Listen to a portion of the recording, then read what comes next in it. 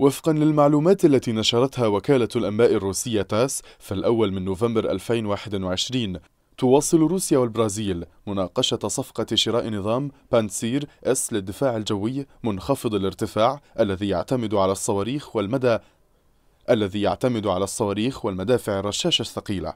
ففي الوقت الحالي لا تزال قضية شراء البرازيل لبانتسير مطروحة على الطاولة والمناقشات مستمرة فهي تناقش شراء أنظمة دفاع جوي روسية منذ عام 2013 في الأصل كان من المقرر توقيع العقد في عام 2015 وفي مايو 2016 قال رئيس الخدمة الفيدرالية الروسية للتعاون العسكري التقني ألكسندر فومين إن روسيا مستعدة لتسليم أنظمة بانتسر للبرازيل. لكن العقد لم يتم توقيعه بعد بسبب مشاكل داخلية في ذلك البلد. وفي أبريل 2017 خلال معرض لاد الدفاعي في البرازيل تداولت مصادر عسكرية أن البرازيل كانت مهتمة بشراء أنظمة بانسر S واحد المضادة للطائرات الروسية الصنع. والتي تعرف في الناتو باسم SA 22 Greyhound وأفادت الصحافة أن وزارة الدفاع البرازيلية تخطط لشراء 12 نظاما من أنظمة بانسر S 1 على أساس هيكل شاحنة MAN الألمانية من شركة Rheinmetall من أجل تفعيل ثلاث بطاريات لقواتها المسلحة. هنا يقول بعض الخبراء الغربيون إن تأخر البرازيل في شراء أنظمة جوية للارتفاعات المخفضة أمر غريب حقا. فدولة بحجم البرازيل تستغرق أكثر من عشرة أعوام في جدال ونقاش حول شراء أنظمة دفاع جوي رخيصة الثمن مقارنة بالأنظمة الغربية الصنع. دليل على أن بيئة أمريكا اللاتينية هي في نفس الأساس منخفضة الصراع ونادرا ما تحدث الحروب بين الدول المختلفة. وأغلب مشتريات الأسلحة في هذه القارة هي لمقاتلة عصابات المخدرات وكذلك الحركات الثورية اليسارية التي في الأساس لا تمتلك قوات جوية. والبانسر S واحد هو نظام دفاعي جوي صاروخي مدفعي مصمم لحماية التجمعات العسكرية والمنشآت الإدارية والصناعية من الطائرات المقاتلة والمروحيات وصواريخ كروز والأسلحة الموجهة بدقة. ويجمع النظام بين الصواريخ والمدافع بما في ذلك 12 صاروخا موجها أرض جو من طراز 75 E 6 ومدفعان آليان طراز 2 A 38 M عيار 30 ملم تم تطويرها من مدفع جي إس إتش 30 ثنائي السبطنات المستخدم في أنظمة الدفاع الجوي الروسية الشهيرة. يمكن للبانسر S واحد تدمير الأهداف الجوية من 200 إلى 4000 وبارتفاع من صفر إلى 3000 متر بالمدافع ومدى من 1200 متر إلى 20 كيلومتر بالصواريخ وعلى ارتفاع أقصى 15 كيلومتر. وبالطبع هذا الكلام نظري فلم يتم إثبات هذه الأرقام بشكل فعلي وضد قوات جوية متطورة. ويعد البانسر S واحد الذي يعرف في الغرب باسم SA 22 Greyhound نظاما صاروخيا للدفاع الجوي مصمما لحماية المناطق العسكرية الحيوية الصغيرة والكبيرة والأهداف الصناعية ووحدات القوات البرية وتعزيز وحدات الدفاع الجوي المسؤولة عن حماية القوات والمنشآت العسكرية ضد الهجمات الجوية الموجهة بدقة من ارتفاعات منخفضة ومنخفضة للغاية. تشتمل النسخة المحمولة من نظام بانتسير S واحد على مركبة قتالية ما يصل إلى ست مركبات في البطارية وصواريخ موجهة أرض جو وقذائف عيار 30 ملم ومركبة نقل وتلقيم واحدة لكل مركبتين قتاليتين وصيانة ومرافق التدريب. تم تصميم بانتسير S واحد من قبل مكتب KBP Instrument Design في تولا روسيا وتم تصنيعه بواسطة مصنع أوليانوفسك الميكانيكي في أوليانوفسك بروسيا. تم الكشف عن بانتسير S واحد لأول مرة للجمهور خلال معرض ماكس الجوي في جوكوسفسكي بالقرب من موسكو في عام 1995 وفي مايو 2000 طلبت الإمارات العربية المتحدة 50 من أنظمة بانتسير S واحد مثبتة على مركبات مدولبة من طراز MAN SX 45 الألمانية ثمانية الدفع وبلغت قيمة الطلب حوالي 734 مليون دولار.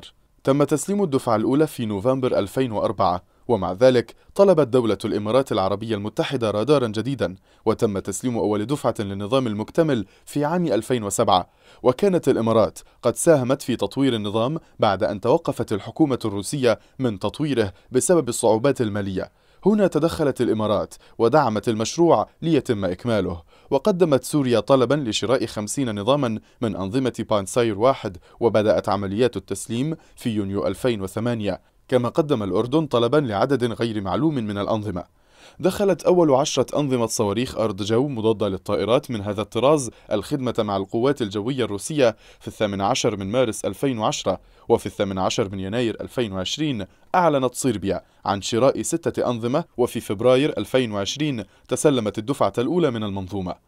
التسليح الرئيسي يتكون من 12 صاروخا موجها أرض جو من طراز 57 إي 6 ومدفعا آليان طراز 2 أي 38 أم 30 عيار 30 ملم وهو مزود برادار متعدد المدى قادر على اكتشاف الأهداف الجوية بسطح تشتت فعال يصل إلى 2 إلى 3 متر مربع على مسافة تزيد عن 30 كيلومترا وتعقبها من مسافة تزيد عن 24 كيلومترا.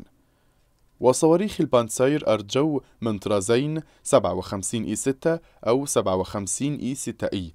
الصواريخ تعمل بمرحلتين يعملان بالوقود الصلب والموجهة بأمر لاسلكي في حاويات جاهزة للإطلاق محكمة الغلق ويتم ترتيب الصواريخ في مجموعتين من ستة أنابيب على البرج ويتميز الصاروخ بجسم ثنائي العيار في تكوين ترادفي.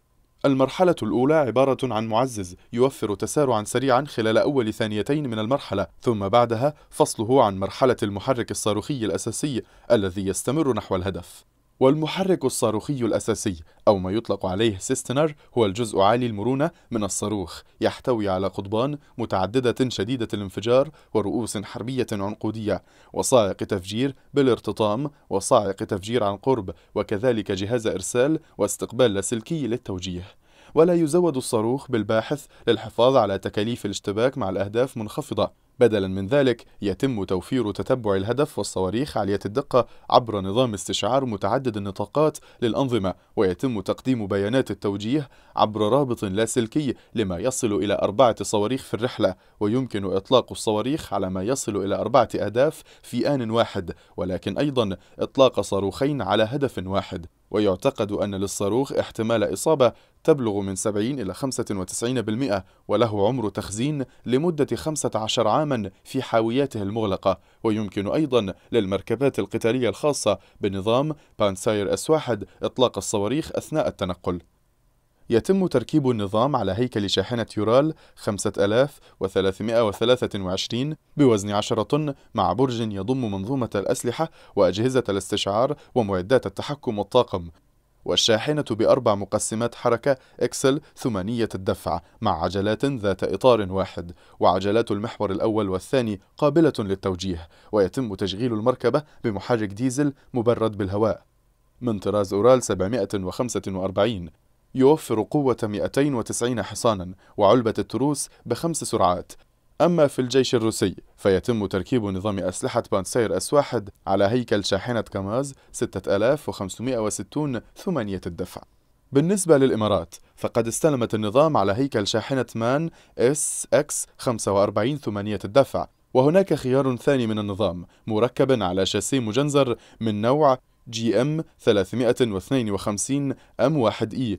من شركة بيلاروسية وهي Minsk Tractor Plant يمكن لنظام S واحد إطلاق النار على هدفين في نفس الوقت ومهاجمة ما يصل إلى 12 هدفا في غضون دقيقة واحدة ويبلغ المدى الفعال للنظام للصواريخ 20 كيلومترا والارتفاع الأقصى 8 كيلومترات وأما مدى القذائف المدفعية فيبلغ 3 كيلومترات ويصل ارتفاعها إلى 4 كيلومترات ويمكن أن تعمل أيضا في الوضع الخامل باستخدام قناة الأشعة تحت الحمراء في نطاق الموجة الطويلة. مع المعالجة المنطقية للإشارة والتتبع التلقائي.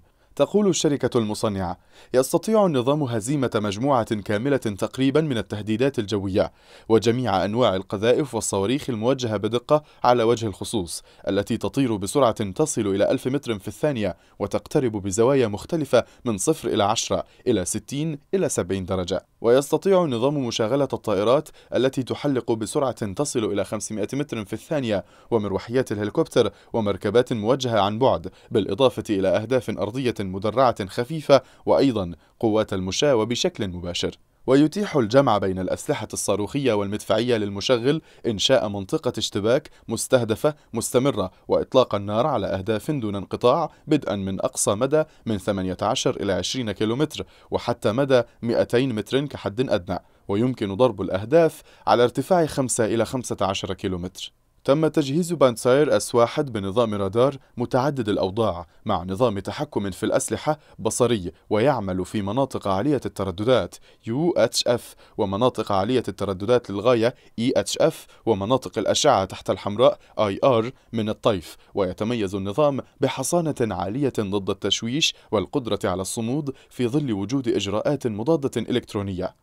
يشتمل نظام التحكم في إطلاق النار على رادار الإغلاق على الهدف ورادار تتبع الموجة المزدوجة والذي يعمل في النطاق الموجي عالي التردد وعالي التردد للغاية. ويتراوح مدى الكشف 32 إلى 36 كيلومتر في حين يتراوح مدى المتابعة والاستهداف من 24 إلى 28 كيلومتر.